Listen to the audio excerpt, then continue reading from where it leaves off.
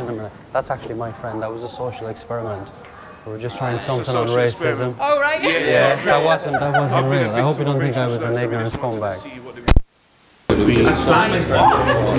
Yeah, do you know what? We just want to do a social experiment. We was in Liverpool and like we experienced a bit of racism earlier on the day. And we thought it'd be a, a good video to do because see, like people from Liverpool do stand up for us and for everyone, and they did. I was like, I've just I've not stopped talking about this. I must admit, like you that. look I'm familiar. totally Can't believe this. Can't believe listening to it. You Well, look I'm getting like, I think he's got calm down. I recognise you from the left.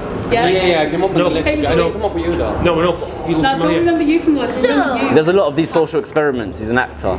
Fair enough. So Yeah, so you yeah. putting that on YouTube? If that's okay with you guys, I came to That's ask for your permission, Yes, that's basically. fine with me. It's absolutely okay. Yeah, What, don't mind me asking, what was the experiment to do with? Uh, just black racism. Right?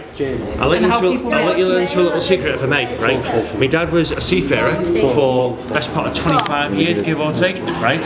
When he first met my mum, he was born originally not far from here, right? When my mum used to work, when my mum and dad first got together, there was a lady who used to basically, a confrontation similar to what we just, we just done there.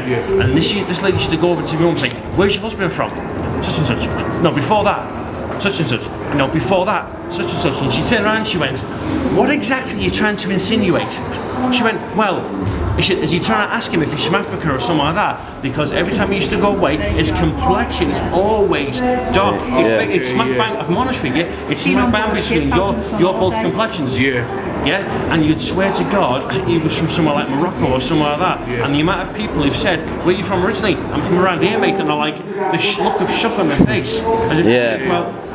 Yeah, but you don't look like you're from there. Yeah. Yeah, but it's the colour of his skin, and he's, he's, he was born not far from here, a place called Waterloo, just outside Bootle.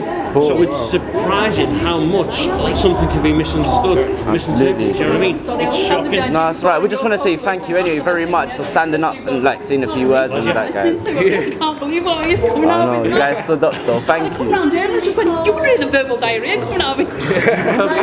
Verbal diarrhea. you know. Oh. All right then. Well, thank you guys. Have a enjoy the rest your day. Thank you guys. Bye. See ya. Bye. Goodbye.